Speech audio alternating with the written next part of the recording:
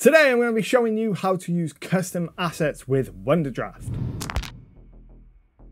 Greetings gamers, I'm Anto and I've been playing tabletop games for almost 20 years now. On this channel I make videos on how to be a better dungeon master, how to build deeper worlds and how to use programs to improve your RPG experience. So if you're new here, make sure to subscribe for more videos like this. I'm making this updated tutorial because a lot has changed in Wonderdraft since I made the first version and I want to make sure that you have the most up-to-date information as possible. This video is sponsored in part by Ancient Lair, the new custom 2D miniatures Kickstarter more on them later. Now before we dive in, there are a couple of things that you need to understand. Number one is that folder structure is incredibly important when it comes to importing custom assets into Wonderdraft.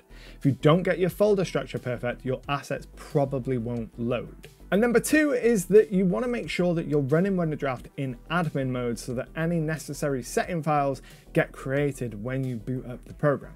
Now this should cover about 90% of the issues you're likely to run into when you're trying to add custom assets into Wonderdraft. If after following this tutorial you still can't get your assets working and you've tried everything I've suggested here, including making sure that your folder structure is perfect and that you're running in admin mode, you'll want to head to the support channel of the Megasploot Discord server and see if someone there can help you. I will leave a link to that down in the description below. There's loads of really experienced users there who will be able to help you with your specific problem. But with that said, let's dive straight in into the tutorial. So the first thing that you want to do is you want to come to your Humble Bundle page where you purchased and can download Wonderdraft. And you want to download the Wonderdraft example custom assets folder. This is going to make your life so much easier. As I said before, Wonderdraft is very particular when it comes to the asset path that it chooses. And to get things to work, you're going to want to download this. If you download this, 90% of the work is done for you. And it's going to make everything going forward just much, much smoother. So go ahead and download that. The next thing you want to do is you want to open up Wonderdraft and you want to head over to menu, preferences, and you can see here where it's got assets and themes directory. You want to copy that and then paste that into your Windows Explorer bar and paste that in and you end up on this page. Next thing that you want to do is you want to open this assets folder. Now this is where we're going to paste that example assets. So if I go over to my downloads here, I've got the example folder here. I'm just going to copy and paste that directly over into the assets folder of the Wonderdraft directory. Now we can open up this example folder and you can see that we've got three subfolders, fonts, sprites, and textures. Any symbols like mountains, trees, or any of your town symbols, they're to be in sprites. Fonts is obviously for all of your fonts, and textures is for any texture you want to add to the ground cover. So you've got ground, path, and water there. We're going to focus on sprites today just for the sake of simplicity. So we're going to load up sprites and you can see that in that we've got mountains, symbols and trees. Symbols are anything that isn't a mountain or a tree, so any of your buildings or cities, anything like that. And that's where we're going to work in today. So we're going to go into the symbols folder and you can see that there is already a folder there called sample symbols. We click on that, we can see that there are a couple in there, but we don't want to use those, so we'll back out. We want to make a new folder. So we'll right click, go to new folder, and we're just going to call this YouTube test. Now I like to keep everything as close to the sample folder as possible. So I keep everything as lowercase and I put underscores between all my words. So we'll make that new folder. Then we can go ahead, open that up. And this is where we are going to paste our symbols. So we'll go into my downloads folder and you can see I've got a couple of example assets here, just really basic blocks to represent buildings for a city map. You can use anything or virtually anything for this, but for our simple example, we're just going to use these squares just because they're nice and easy. So we'll copy those over and then paste them into our YouTube test folder inside that example assets. Now what I want to do is I want to close out of Wonderdraft and then I want to relaunch it as an admin. So I'll right click, go to more and run as administrator, accept the prompt.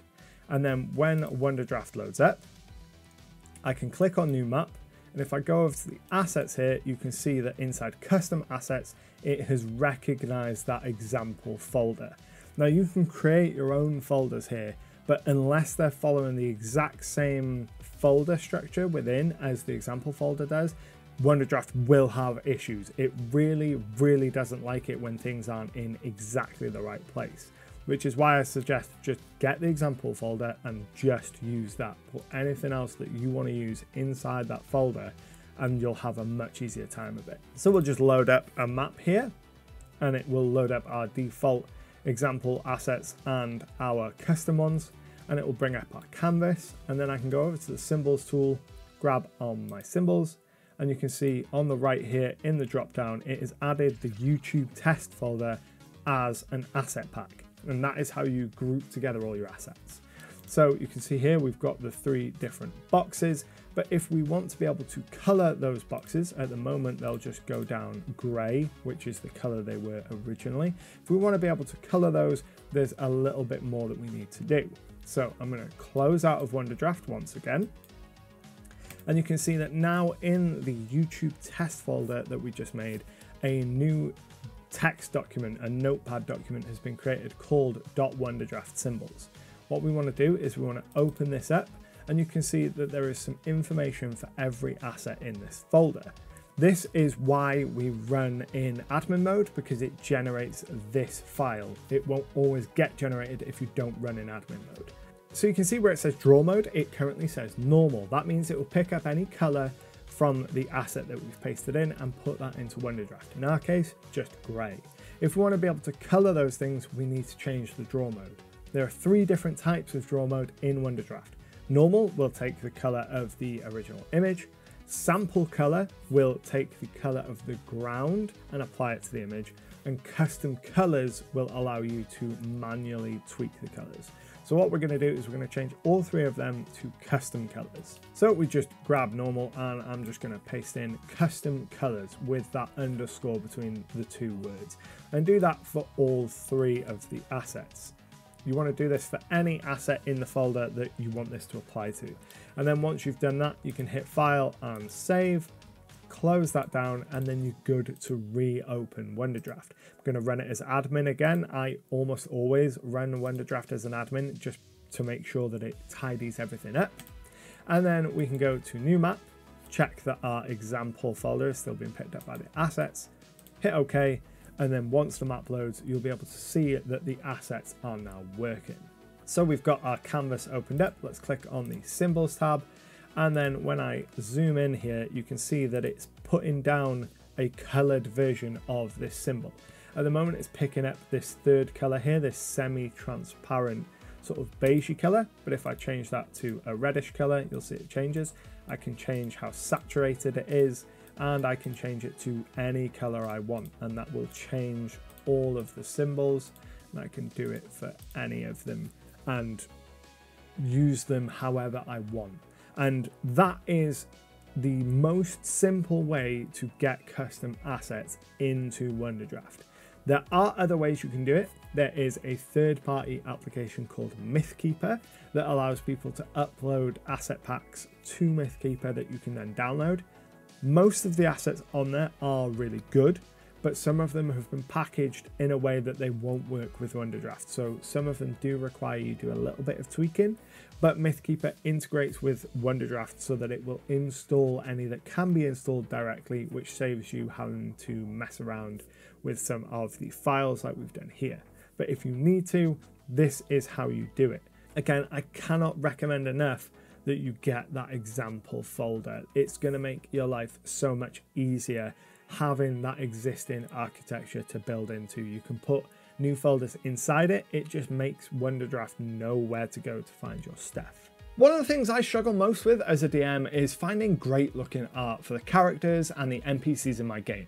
That's why I'm really pleased that this week's video is sponsored in part by Ancient Lair and their custom 2D miniature Kickstarter. Ancient Lair will let you fully customize your character art with a wide selection of fantasy races, details, outfits and accessories, and you'll have full control over the layers, the placement and the sizing of each art asset, which allows you to make the perfect player character for your next campaign. All the art in Ancient Lair includes a back view, so you can print off your character and use them as a 2D miniature on the tabletop, or you can use the token maker on the site to import your characters into your preferred virtual tabletop. There's a whole bunch of cool stretch goals to unlock more races, styles, and options, but the thing I'm most excited for is the NPC generator included in the hero tier, which is actually the tier that I am backing. Being able to quickly make good looking NPC tokens is essential when your party has a habit of going where you don't expect them to go. The Ancient Lair Kickstarter is running until the 28th of September, so make sure to check it out if you want to add more variety to the characters in your game, and thanks again to Ancient Lair for supporting the channel. I really hope that you found this video useful, and if you did, don't forget to hit the like button and subscribe for more Wonder Drafter content. If there's anything you'd like to see me cover in future videos, please let me know down in the comments below. If you want to keep watching, I have a whole playlist dedicated to Wonder Draft content right there, but until next time, happy gaming.